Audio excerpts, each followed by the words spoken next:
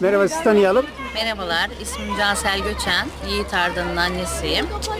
Evet iyi Arda içeride maç yapıyor. Neler düşünüyorsunuz? Evet, e, yani güzel bir ortam. Sporla uğraşması çok iyi bir şey oğlumun. Ayrıca kızım da sporla uğraşıyor. Yani teknolojik aletlerle boş zaman geçireceklerine böyle sağlıklı, iletişim açısından gayet güzel bir ortam. Biz de çocuklarımızı desteklemek için buraya geldik. Peki bu söylediğiniz e, şeyler dışında, yara faydaları dışında yani e, teknolojik aletler uğraşma dışında ne gibi fayda sağlıyor çocuklara? Ee, sağlık açısından, e, sonra iletişim açısından, e, insan ilişkileri açısından, arkadaş ortam açısından, mücadele, hırs, azim her şey e, olumlu yönde. Sorumlu kalıyorlar değil mi burada? Tabii ki. Tabii, Mücadeleyi öğreniyorlar. tabii ki. Peki teşekkür ederim. Ben teşekkür ederim.